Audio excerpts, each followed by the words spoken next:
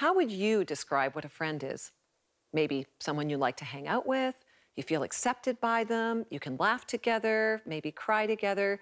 There's safety. Maybe it's someone you know you can call to help you out, like uh, when you're doing that home reno project, you know, bring over your tools and your paintbrush. A friend is someone that you enjoy being with. You care about them and they care about you. There's this special bond. One of the most shocking things in Scripture is how Jesus addresses his followers.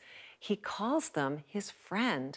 In John 15, verses 14 and 15, it says, You are my friends if you do what I command. I no longer call you servants, because a servant does not know his master's business. Instead, I've called you friends.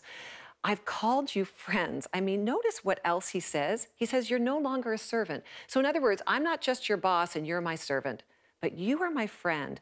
Why is this so important to catch?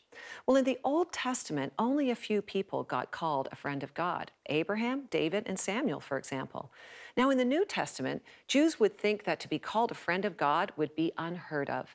The Messiah they were looking for was a warrior or perhaps a military hero, but a friend? No way. That was too personal. Jesus describes what he means by calling them friend when he says in the next verse 15, For everything I learned from my Father, I've made known to you. Wow, this is a personal God, one who shares everything that they know with their friend. No secrets, no hiddenness, no, di- no distance. And in verse 13, right before he calls them his friends, he says one of the most profound truths in Scripture Greater love has no one than this to lay down one's life for one's friends. Jesus, the one who is God, the one who is King of kings and Lord of lords, the one who rules and reigns, the one who will judge, the one who is all powerful, that Jesus says to you and to me, I want to be your friend. I want to share all the secrets of my Heavenly Father with you. I prove my loyalty to you as a friend by giving up my life for you. Do you need any greater proof of friendship? Wow, this is beautiful truth of the gospel.